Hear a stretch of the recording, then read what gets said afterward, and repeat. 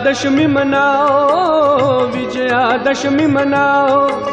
विजयादशमी मनाओ विजयादशमी मनाओ। रावण को तुम भस्म करो अब राम से प्रीत जुटाओ। विजयादशमी मनाओ विजयादशमी मनाओ विजयादशमी मनाओ। विजयादशमी मनाओ विजयादशमी मनाओ।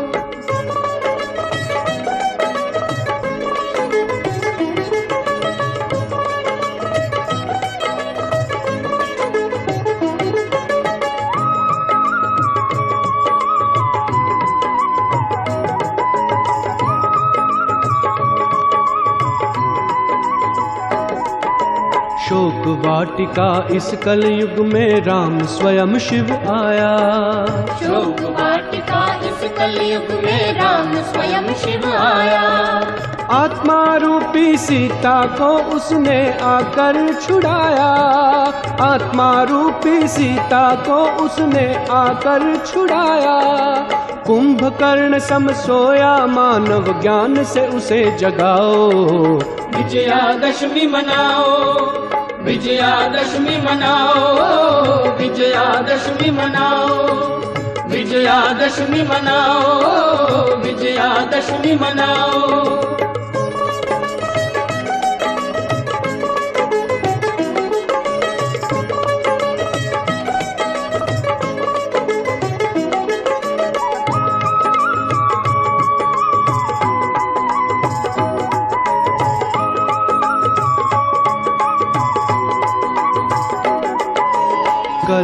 की है अंत घड़ी ये लंका जलने वाली। कल्प की है अंत घड़ी यह लंका जलने वाली। आत्मशुद्धि की अग्नि परीक्षा संगम में होने वाली। आत्मशुद्धि की अग्नि परीक्षा संगम में होने वाली। संपूर्ण ये पवित्रता से राम राज्य फिर लाओ। विजयादशमी मनाओ। विजयादशमी मनाओ विजयादशमी मनाओ विजयादशमी मनाओ विजयादशमी मनाओ।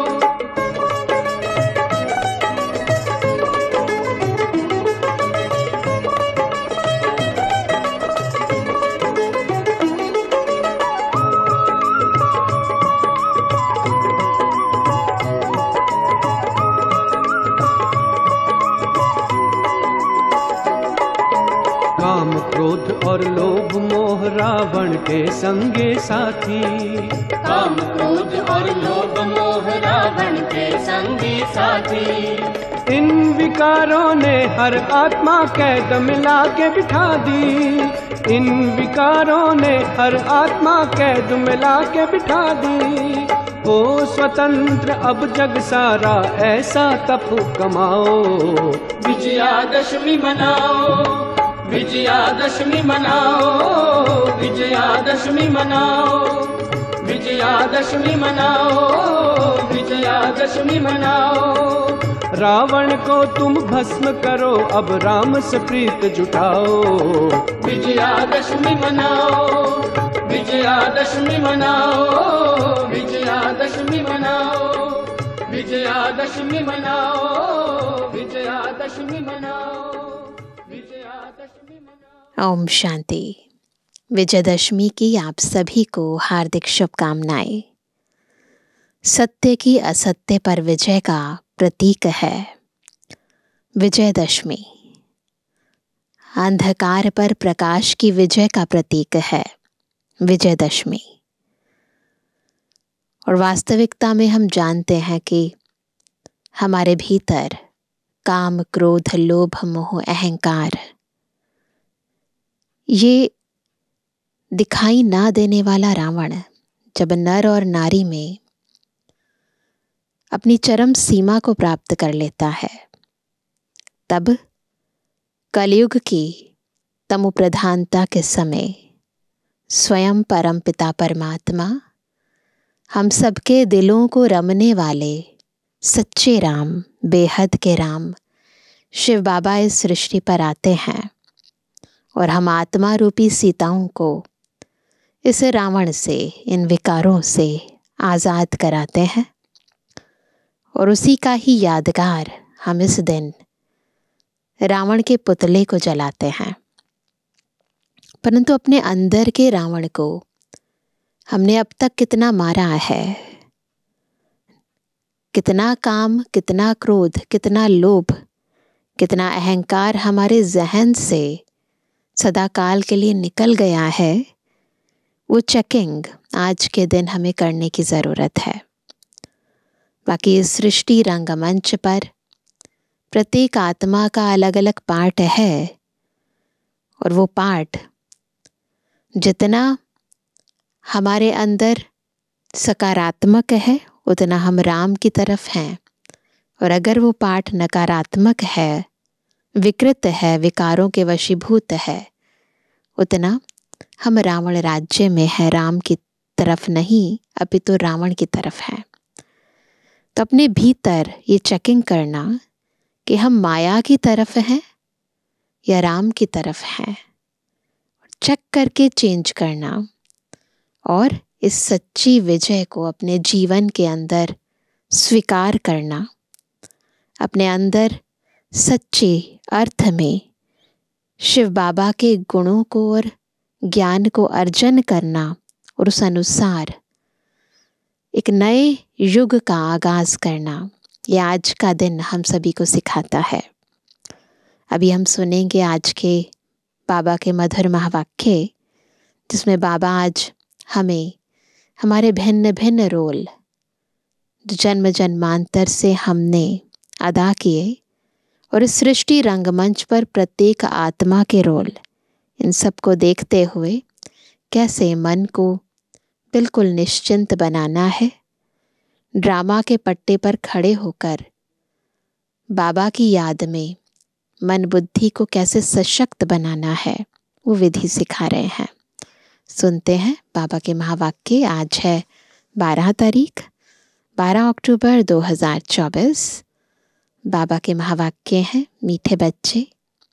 बाप, खिवैया बन आया है। तुम सबकी नैया को। विषय सागर से निकाल, शीर सागर में ले जाने। अभी तुमको इस पार से उस पार जाना है। तो फील करेंगे हम सभी कि इस दुनिया के अंदर हम विषय सागर में कहाँ गोते खा रहे थे। और बाबा खिवैया बनकर आया है। हमारी नैया को, हम आत्माओं को ले जाने उस पार, जहाँ शीर सागर है, जहाँ सुख है, समृद्धि है, शांति है, आनंद है। तो जितना जितना हम अपने भीतर इस सकारात्मक ऊर्जा को फील करते हैं, उतना उतना बाबा का साथ हमें और अधिक अनुभव होने लगता है। प्रश्न है, तुम बच्चे हर एक का पाठ देखते हुए किसकी भी निंदा नहीं कर सकते हो? क्यों? है ना?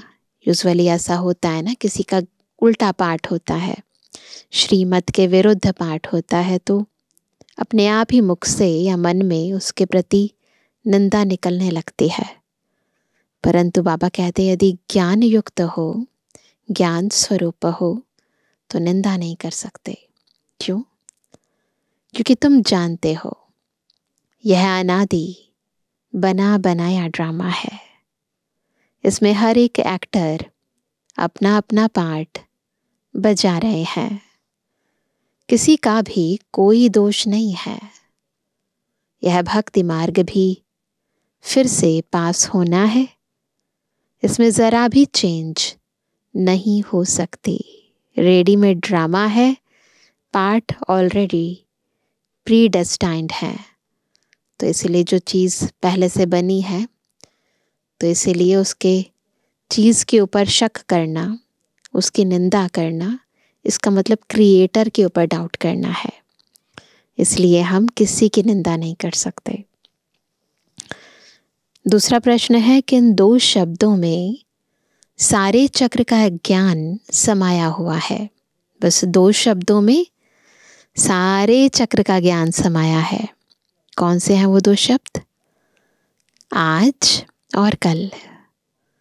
कल हम सतयुग में थे। आज चौरासी जन्मों का चक्र लगाकर नरक में पहुँचे। कल फिर स्वर्ग में जाएँगे। बस ये कल, आज कल का ड्रामा है। आज और कल का खेल है। ओम शांति। अब बच्चे सामने बैठे हैं। जहाँ से आते हैं, वहाँ अपने सेंटर्स पर जब रहते हैं तो वहाँ ऐसे नहीं समझेंगे कि हम ऊंचते ऊंच बाबा के सम्मुख बैठे हैं। वही हमारा टीचर भी है।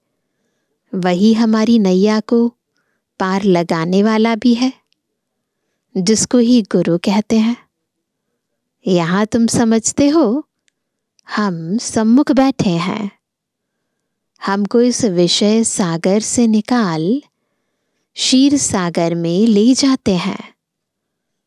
पार ले जाने वाला बाप भी सम्मुख बैठा है। बाबा ले जा रहे हैं और इस समय हम बाबा को हाजिर नाजिर समझकर महावाक्य सुन रहे हैं। तो हमारे सामने बैठा है।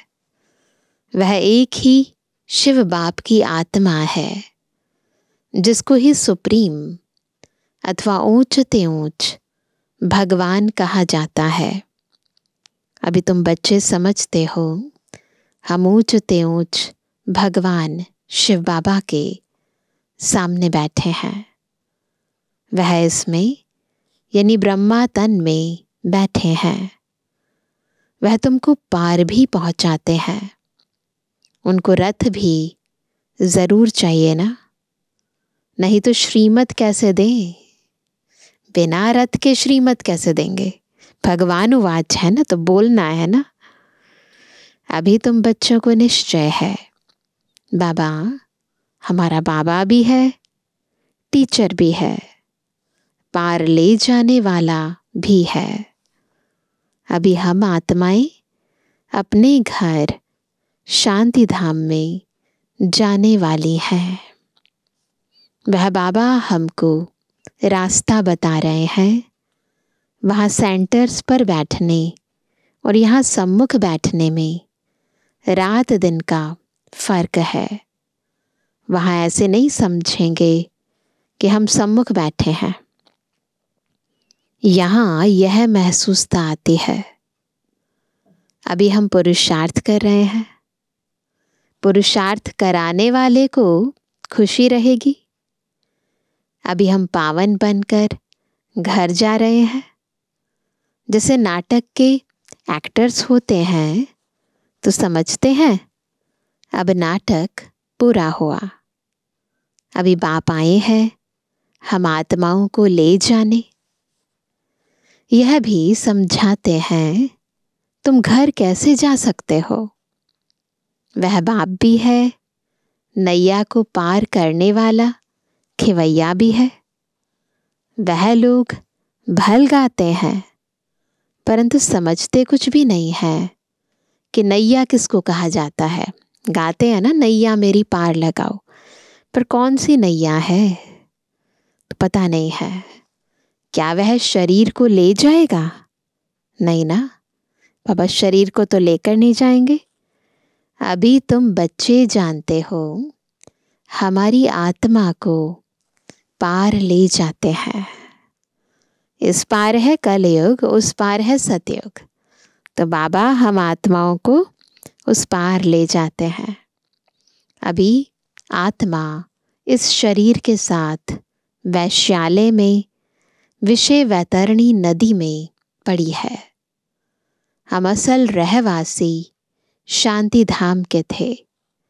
हमको पार ले जाने वाला, अर्थात घर ले जाने वाला बाप मिला है। तुम्हारी राजधानी थी जो माया रावण ने सारी छीन ली है। वह राजधानी फिर ज़रूर लेनी है। बेहद का बाप कहते हैं, बच्चों, अब अपने घर को याद करो। वहाँ जाकर फिर शीर सागर में आना है। यहाँ है विष का सागर, वहाँ है शीर का सागर, और मूल वतन है शांति का सागर। तीनों धाम है, यह तो है दुख धाम एक है शांति धाम एक है सुख धाम और ये दुनिया क्या है? दुख धाम बाप समझाते हैं, मीठे मीठे बच्चों, अपने को आत्मा समझ, बाप को याद करो। कहने वाला कौन है? किस द्वारा कहते हैं? सारा दिन मीठे मीठे बच्चे कहते रहते हैं, अभी आत्मा पतित है, जिस कारण फिर शरीर भी ऐसा मिलेगा। आत्मा पतित है तो शरीर भी पतित मिलेगा। अभी तुम समझते हो, हम पक्के पक्के सोने के जेवर थे, यानी पवित्र थे। फिर खाद पड़ते पड़ते झूठे बन गए हैं। आत्मा में एलॉय मिक्स हो गई है, उसके अंदर विकार अंदर समा गए हैं। अब वह झूठ कैसे निकले? वो जो एलॉय आ गई है बॉडी कॉन्शियसनेस की, वो निकले कैसे? इसलिए यह याद की यात्रा की भट्टी है। कैसे निकलेगी? जैसे सोने को अग्नि में डालते हैं तो प्योर हो जाता है, एलॉय निकल जाती है। वैसे हम क्या करेंगे? हम आत्माएँ याद की भट्टी में बैठेंगी। अग्नि में सोना पक्का होता है ना? बाप बार बार समझाते हैं। यह समझानी जो तुमको देता हूँ, हर कल्प देता आया हूँ। हमारा पाठ है, फिर पाँच हज़ार वर्ष के बाद आकर कहता हूँ कि बच्चे पावन बनो। सतयुग में भी तुम्हारी आत्मा पावन थी। शांति धाम में भी पावन आत्मा रहती है। वह तो है हमारा घर। कौन सा? शांति धाम कितना स्वीट घर है। जहाँ जाने के लिए मनुष्य कितना माथा मारते हैं। बहुत, है ना? बुद्धि लगाते हैं, ऐसा करें, ऐसे करें। नहीं। बाप समझाते हैं, अभी सबको जाना है, फिर पाठ बजाने के लिए आना है। यह तो बच्चों ने समझा है। बच्चे जब दुखी होते हैं तो कहते हैं, हे भगवान, हमें अपने पास बुलाओ। कहते ना, हे भगवान, मुझे ले जाओ। मैं बहुत तंग हो गई हूँ। हमको यहाँ दुख में क्यों छोड़ा है? जानते हैं, बाप परम धाम में रहते हैं, अंदर से जानते हैं। बाहर से नहीं जानते हैं। तो कहते हैं, हे भगवान, हमको परम धाम में बुलाओ। सतयुग में ऐसे नहीं कहेंगे। वहाँ तो सुख ही सुख है। यहाँ यहाँ क्या है? अनेक दुख हैं। तब पुकारते हैं। क्या कहते हैं? हे भगवान, आत्मा को याद रहती है। परंतु भगवान को जानते बिल्कुल नहीं है। ये पता है आत्मा को अंदर से कि जब भी दुख होगा तो भगवान हमें सुखी बनाएगा। तो इसलिए उसको बार बार याद करती है। परंतु एग्जैक्टली exactly भगवान है कौन, कैसे आते हैं, क्या करते हैं, वो नहीं जानते। अभी तुम बच्चों को बाप का परिचय मिला है। बाप रहते ही हैं परम धाम में। घर को ही याद करते हैं। ऐसे कभी नहीं कहेंगे, राजधानी में बुलाओ। राजधानी के लिए कभी नहीं कहेंगे। बाप तो राजधानी में रहते भी नहीं, वह रहते ही हैं शांति धाम में। बाबा तो सतयुग में आते ही नहीं, सब शांति मांगते हैं। परम धाम में भगवान के पास तो ज़रूर शांति होगी। जिसको मुक्ति धाम कहा जाता है, वह है आत्माओं के रहने का स्थान, जहाँ से आत्माएँ आती हैं। सतयुग को घर नहीं कहेंगे, वह है राजधानी। अब तुम कहाँ कहाँ से आए हो? मधुबन में अलग अलग राज्यों से अलग अलग देशों से भी आते हैं। यहाँ आकर सम्मुख बैठे हो। बाप बच्चे बच्चे कह बात करते हैं। बाप के रूप में बच्चे बच्चे भी कहते हैं। फिर टीचर बन, सृष्टि के आदि मध्य अंत का राज, अथवा हिस्ट्री, जियोग्राफी समझाते हैं। यह बातें कोई शास्त्रों में नहीं है। तुम बच्चे जानते हो, मूल वतन है हम आत्माओं का घर। सूक्ष्म वतन तो है ही। दिव्य दृष्टि की बात। स्थूलता नहीं है उसमें कुछ भी। दिव्य दृष्टि से देखा जा सकता है। बाकी सतयुग, त्रेता, द्वापर, कलयुग तो यहाँ ही होता है। पाठ भी तुम यहाँ बजाते हो। सूक्ष्म वतन का कोई पाठ नहीं। यह साक्षात्कार की बात है। सूक्ष्म वतन का कोई ऐसे रोल नहीं है, ना ही वहाँ ऐसी दुनिया है। ये तो बाबा कहते साक्षात्कार की बात है। वहाँ तो बस आत्मा को कुछ पलों के लिए साक्षात्कार हो जाता है।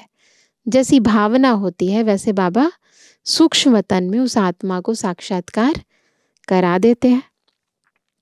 कल और आज, यह तो अच्छी रीति, बुद्धि में होना चाहिए।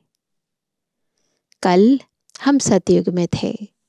फिर चौरासी जन्म लेते लेते आज नर्क में आ गए हैं। बाप को बुलाते भी नर्क में है। सतयुग में तो अथाह सुख है। तो कोई बुलाते ही नहीं। यहाँ तुम शरीर में हो, तब बात करते हो। आत्मा शरीर से निकल जाए तो बात थोड़ी ना कर पाएगी। बाप भी कहते हैं, मैं जानी जाननहार हूँ। अर्थात सृष्टि के आदि मध्य अंत को जानता हूँ, परंतु सुनाऊं कैसे? जानते तो हैं, ज्ञान सारा है, पर ज्ञान है, वो बताने के लिए बोलना पड़ेगा ना, ज्ञान सुनाना पड़ेगा। अब सुनाने के लिए मुख चाहिए।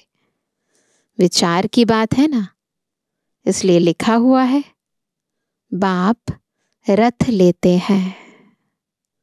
कहते हैं, मेरा जन्म तुम्हारे सदृश्य नहीं है। जैसे हम आत्माओं का गर्भ से जन्म होता है, वैसा बाबा का नहीं है। मैं इनमें प्रवेश करता हूँ। रथ का भी परिचय देते हैं। यह आत्मा भी नाम रूप धारण करते करते तमु प्रधान बनी है। इस समय सब छोरे हैं। छोरे मतलब जिनका कोई धनी धोरी नहीं होता ना, क्योंकि बाप को जानते नहीं है है परम पिता परमात्मा, परंतु जानते नहीं है तो जैसे छोरे छोरियाँ हैं। तो सब छोरे और छोरियाँ हो गए। आपस में लड़ते हैं तो कहते हैं ना, छोरे छोरियाँ लड़ते क्यों हो? है ना? तंग करते हैं, शोर मचाते हैं। तो वह कहते, पूछते हैं फिर। तो बाप कहते हैं, मुझे तो सब भूल गए हैं। आत्मा ही कहती है, छोरे, छोरियाँ। लौकिक बाप भी ऐसे कहते हैं। बेहद का बाप भी कहते हैं, छोरे, छोरियाँ, यह हाल क्यों हुआ है? कोई धनी धोड़ी है? तुमको बेहद का बाप, जो स्वर्ग का मालिक बनाते हैं, जिसको तुम आधा कल्प से पुकारते आए हो। उनके लिए कहते हो, पत्थर ठिक्कर में है। बाप अब सम्मुख बैठ समझाते हैं। अभी तुम बच्चे समझते हो, हम बाबा के पास आए हैं। यह बाबा ही हमको पढ़ाते हैं। हमारी नैया पार करते हैं, क्योंकि यह नैया बहुत पुरानी हो गई है। तो कहते हैं, इनको पार लगाओ, फिर हमको फिर हमको नहीं दो। इसको पार लगाओ, ये शरीर खत्म हो जाएगा, हमको नहीं दो। पुरानी नैया खौफनाक होती है, डर रहता है ना? डूबी ना जाए। कहाँ रास्ते में टूट पड़े, एक्सीडेंट हो जाए, शरीर का यही तो हाल है। तो तुम कहते हो, हमारी नैया पुरानी हो गई है। ये जो बॉडी है, हमारी पुरानी हो गई है। अब हमें नई दो। इनको वस्त्र भी कहते हैं। ये शरीर, आत्मा का वस्त्र है और नैया भी कहते हैं। बच्चे कहते, बाबा हमको तो ऐसे। यानी लक्ष्मी नारायण वस्त्र चाहिए। जो लक्ष्मी नारायण का चित्र दिखाते हैं ना तो देह है ना तो हम कहते हैं, बाबा, हमें ऐसा चाहिए, ऐसा बनना है, ये वाले वस्त्र चाहिए। बाप कहते हैं, मीठे मीठे बच्चों, स्वर्गवासी बनने चाहते हो। हर पाँच हज़ार वर्ष बाद तुम्हारे यह कपड़े पुराने होते हैं। फिर नया देता हूँ। यह है आसुरी चोला। आत्मा भी आसुरी है। मनुष्य गरीब होगा तो कपड़े भी गरीबी के पहनेंगे। साहूकार होगा तो कपड़े भी साहूकारी के पहनेंगे। यह बातें अभी तुम जानते हो। यहाँ तुमको नशा चढ़ता है। हम किसके सामने बैठे हैं? सेंटर्स पर बैठते हो तो वहाँ तुमको यह भासना नहीं आएगी। अभी भले बाबा, बाप दादा दोनों अव्यक्त हैं, लेकिन फिर भी जब मधुबन में आते हैं तो बिल्कुल ऐसी भासना आती है जैसे साकार रूप में बाबा हमारी पालना कर रहे हैं। तो वह कहते, वहाँ ऐसी भासना नहीं आएगी। यहाँ सम्मुख होने से खुशी होती है। क्योंकि बाप डायरेक्ट बैठ समझाते हैं। वहाँ कोई समझाएगा? तो बुद्धि योग कहाँ कहाँ भागता रहेगा? कहते हैं ना, गोरख धंधे में फंसे रहते हैं। फुर्सत कहाँ मिलती है? मैं तुमको समझा रहा हूँ। तुम भी समझते हो? बाबा, इस मुख द्वारा हमको समझाते हैं। इस मुख की भी कितनी महिमा है। गौमुख कहते हैं ना? तो ब्रह्मा मुख की भी बहुत महिमा है, जिस मुख से भगवानुवाच होता है। गौमुख से अमृत पीने के लिए कहाँ कहाँ जाकर धक्के खाते हैं।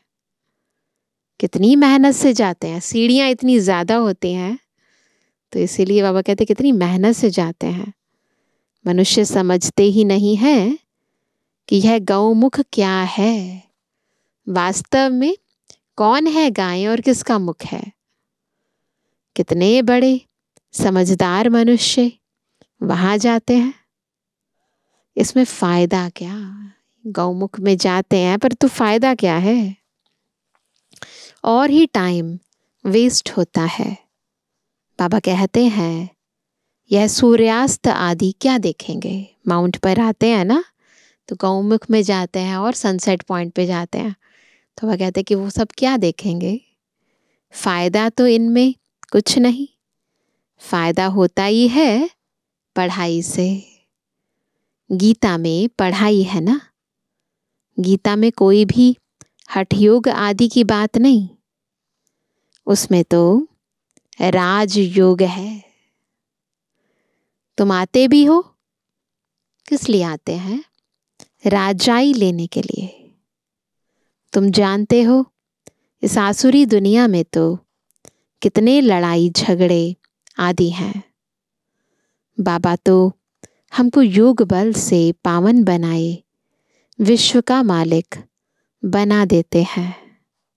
देवियों को हथियार दे दिए हैं, परंतु वास्तव में इसमें हथियारों आदि की कोई बात है नहीं। ना अभी हुआ ना? नवरात्रे होकर गए।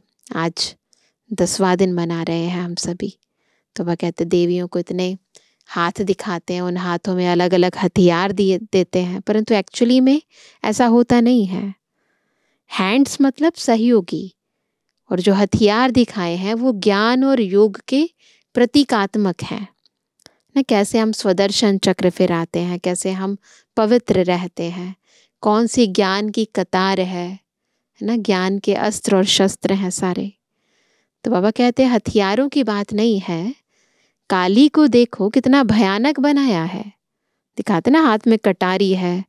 फिर एक हाथ के अंदर वो चंड मुंड की माला और साथ में पकड़ा हुआ है उसने, गर्दन उसकी। ये सब अपने अपने मन की भ्रांतियों से बैठ बनाया है। देवियाँ कोई ऐसी चार आठ भुजाओं वाली थोड़ी होंगी। ये सब भक्ति मार्ग है, सब प्रतीकात्मक है भक्ति के अंदर तो चित्र बना दिए हैं। सो बाप समझाते हैं, यह एक बेहद का नाटक है। इसमें कोई की निंदा आदि की बात नहीं, ये नहीं कह सकते कि इसका रोल गलत है, ये नहीं होना चाहिए। नहीं, ये तो ये ड्रामा है, ड्रामा में हीरो भी होगा, विलन भी होगा। हीरो अपनी जगह ठीक है और विलन अपनी जगह ठीक है तो कुछ गलत नहीं है, किसी की निंदा नहीं है। अनादि ड्रामा बना हुआ है। इसमें फ़र्क कुछ भी पड़ता नहीं है। अनादि ड्रामा है एज इट इज़ रिपीट होता है, कोई चेंज नहीं होता। ज्ञान किसको कहा जाता? भक्ति किसको कहा जाता? यह बाप समझाते हैं। भक्ति मार्ग से फिर भी तुमको पास करना पड़ेगा। है ना? अभी जीत प्राप्त की है रावण पर, परंतु फिर रावण राज्य आएगा और फिर हमें ऐसे लड़ना पड़ेगा और फिर हमें द्वापर युग से पास करना पड़ेगा। भक्ति मार्ग भी पास करना पड़ेगा। ऐसे ही तुम चौरासी का चक्र लगाते लगाते नीचे आएँगे। यह अनादि बना बनाया बड़ा अच्छा। नाटक है, जो बाप समझाते हैं। नाटक है, पाठधारी हम हैं और समझाते बाबा है। इस ड्रामा के राज को समझने से तुम विश्व के मालिक बन जाते हो। ड्रामा का राज समझना है है ना? नाराज़ नहीं होना है। जो ड्रामा का राज समझ जाता है, वो कभी नाराज़ नहीं होता। और इसीलिए वो स्वराज्य अधिकारी बन जाता है। वंडर है ना? भक्ति कैसे चलती है? ज्ञान कैसे चलता है? यह खेल अनादि बना हुआ है। इसमें कुछ भी चेंज नहीं हो सकता। वह तो कह देते, ब्रह्म में लीन हो गया। ज्योति ज्योत समाया। उनके गुरुजी शरीर छोड़ते हैं दूसरे धर्मों के तो कहते हैं क्या क्या, क्या हुआ? ब्रह्म में लीन हो गए या ज्योति ज्योत समा गए। यह संकल्प की दुनिया है। जिसको जो आता है वह कहते रहते हैं। यह तो बना बनाया खेल है। मनुष्य बायोस्कोप देख कर आते हैं। जाते हैं ना? मूवी देखने थिएटर पर। क्या उसको संकल्प का खेल कहेंगे? बाप बैठ समझाते हैं, बच्चे, यह बेहद का नाटक है, जो हु बहु रिपीट होगा। बाप ही आकर यह नॉलेज देते हैं। हमें थोड़ा ना पता था कि ये बेहद का नाटक है, जो एज इट इज़ रिपीट हो रहा है। तो बाबा ने आकर ज्ञान दिया हमें। क्यों? क्योंकि वह नॉलेजफुल है। मनुष्य सृष्टि का बीज रूप है, चैतन्य है। उनको ही सारी नॉलेज है। मनुष्य ने तो क्या कर दिया है? मनुष्यों ने तो लाखों वर्ष आयु दिखा दी है। बाप कहते हैं, इतनी आयु थोड़ी हो सकती है। बायोस्कोप लाखों वर्ष का हो तो कोई की बुद्धि में बैठ नहीं सके। इतना पीरियड बीत जाता है तो शुरू क्या हुआ था? बीच में क्या हुआ था? याद नहीं रहता ना? तो मैंने कहा कि अगर लाखों वर्ष की बात हो तो फिर बुद्धि में बैठे ही नहीं ना? तो बाबा ने कहा, तुम तो सारा वर्णन करते हो, क्योंकि इतना लंबा नाटक नहीं है, पाँच हज़ार वर्ष का है। लाखों वर्ष की बात कैसे वर्णन करेंगे? तो वह सब है भक्ति मार्ग। तुमने ही भक्ति मार्ग का पाठ बजाया। ऐसे ऐसे दुख भोगते भोगते अब अंत में आ गए हो। सारा झाड़ जड़ जड़ीभूत अवस्था को पाया हुआ है। अभी एंड में आ गए हैं और ये सारा झाड़ इस समय जड़ जड़ीभूत अवस्था को पाया हुआ है। प्रत्येक मनुष्य आत्मा की स्थिति तम प्रधान है। अब वहाँ जाना है। अपने को हल्का कर दो। इसने भी हल्का कर दिया ना? तो सब बंधन टूट जाए। बस बाबा को सौंप दो सब कुछ। नहीं तो बच्चे, धन, कारखाने, ग्राहक, राजे, रजवाड़े आदि याद आते रहेंगे। तो इसलिए सब बाबा के हवाले कर दो। धंधा ही छोड़ दिया। तो फिर याद क्यों आएँगे? ना रहेगा धंधा, ना याद रहेंगे ग्राहक। ना नफा, नुकसान याद करेंगे। तो वह कहते हैं, यहाँ तो सब कुछ भूलना है। इनको भूल अपने घर और राजधानी को याद करना है। शांति धाम और सुख धाम को याद करना है।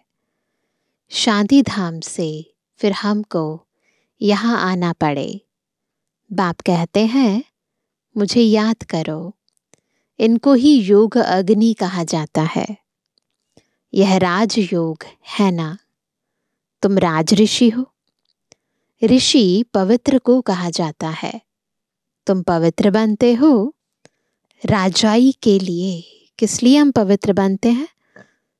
ताकि हम पहले स्वराज्य अधिकारी बने। आत्मा जितना जितना पावन बनती जाती है, उतना उतना आत्मा का स्वयं पर राज्य होता है और उसी स्वराज्य के आधार पर विश्व राज्य मिलता है। तो इसलिए बाबा ने कहा, तुम पवित्र बनते हो राजाई के लिए। बाप ही तुम्हें सब सत्य बताते हैं। तुम भी समझते हो, यह नाटक है। सब एक्टर्स यहाँ ज़रूर होने चाहिए। फिर बाप सबको ले जाएँगे। यह ईश्वर की बारात है ना, जो दिखाते हैं ना भक्ति मार्ग में शिव की बारात। तो बारात में सब तरह की आत्माएँ हैं। वहाँ बाप और बच्चे रहते हैं, फिर यहाँ आते हैं पाठ बजाने।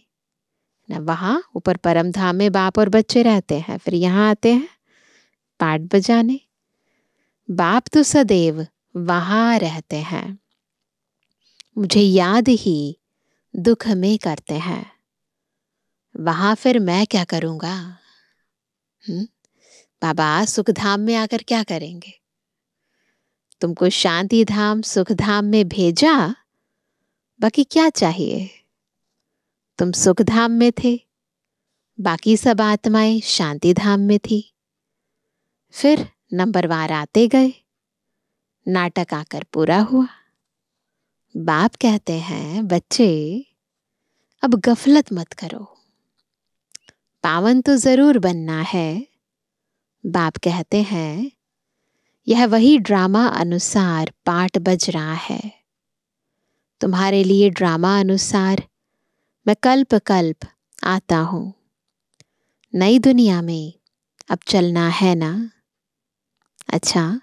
अच्छा मीठे में किसी के लिए जन्मानी बच्चों पे जुर्मानी बाप दादा दिल जान सको प्रेम से नंबरवार प्रसाद अनुसार यादगार और रूहानी बच्चों की, रूहानी बाप दादा को, गुड मॉर्निंग, नमस्ते नमस्ते नमस्ते। धारणा के लिए मुख्य सार, पहला, अब यह झाड़, पुराना, जड़जड़ी भूत हो गया है। आत्मा को वापस घर जाना है।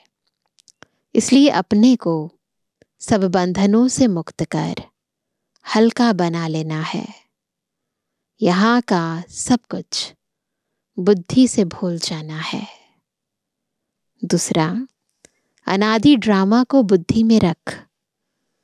किसी भी पाठधारी की निंदा नहीं करनी है। ड्रामा को बुद्धि में रखना है और किसी भी पाठधारी की निंदा नहीं करनी है। ड्रामा के राज को समझ, विश्व का मालिक बनना है।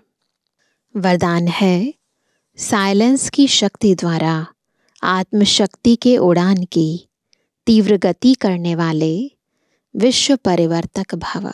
कैसे बनेंगे विश्व परिवर्तक? जब साइलेंस की शक्ति से आत्मशक्ति की उड़ान की तीव्र गति करेंगे। तो एक है साइंस की शक्ति, दूसरी है साइलेंस की शक्ति। वो है साइंस के साधन जिससे हम ऊपर चले जाते हैं। हेलीकॉप्टर है, रॉकेट है। यह है साइलेंस की शक्ति इससे आत्मा तीव्र गति की उड़ान भरती है।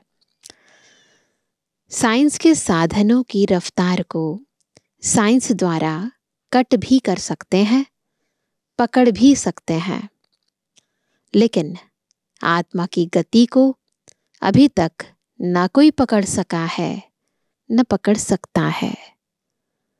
इसमें साइंस अपने को फेल समझती है। जहाँ साइंस फेल है वह साइलेंस की शक्ति से जो चाहो, वो कर सकते हो। तो आत्मशक्ति की उड़ान तीव्र गति से करो।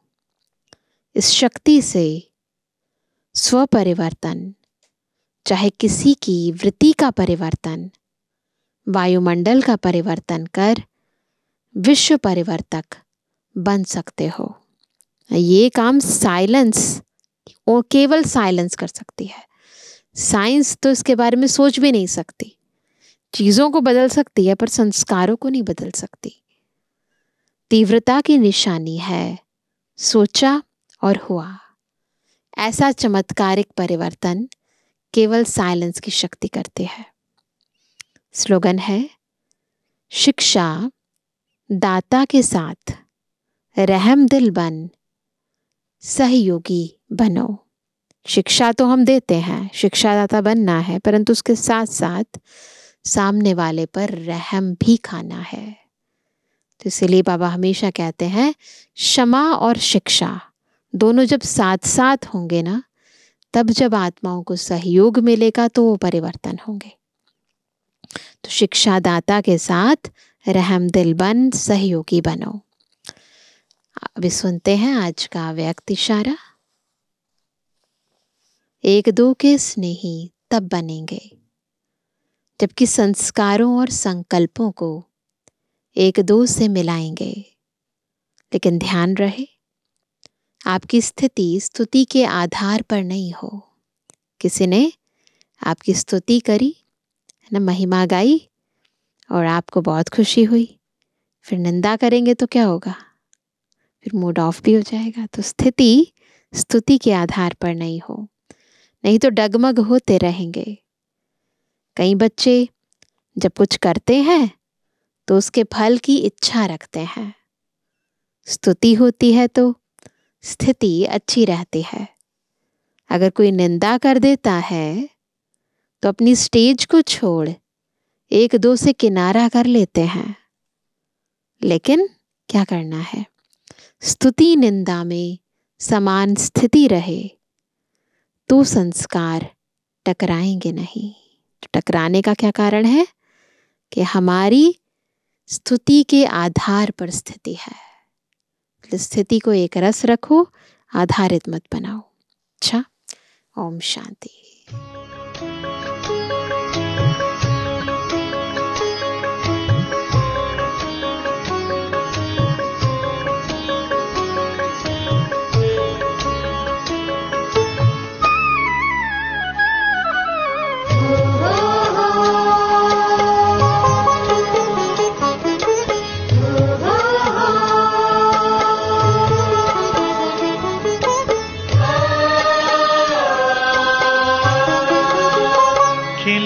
खुशी के हज़ार उपवन हमारी राहों में।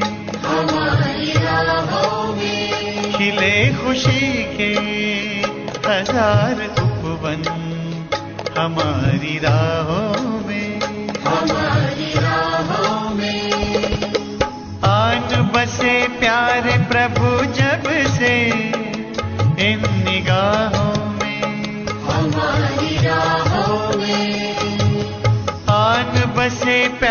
प्रभु जब से इन निगाहों में हमारी राहों में खिले खुशी के हज़ार उपवन हमारी राह